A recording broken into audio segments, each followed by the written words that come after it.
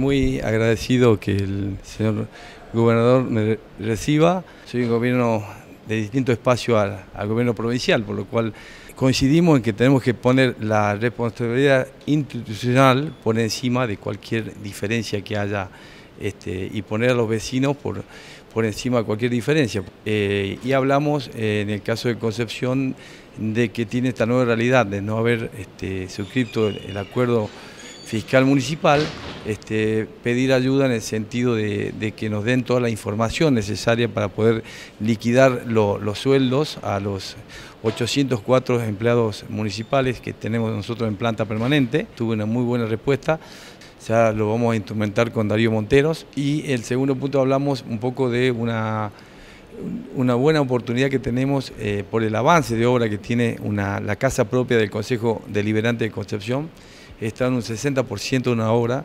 Este, por administración la venimos haciendo, gastamos 140 millones de pesos y pensamos que con el esfuerzo conjunto de provincia y, municipio podemos terminarla al corto plazo, quizás en los próximos meses. Es una obra que con poco, poco dinero y mucho esfuerzo de ambos poderes, eh, tanto la provincia como la Municipalidad de Concepción, la podemos terminar.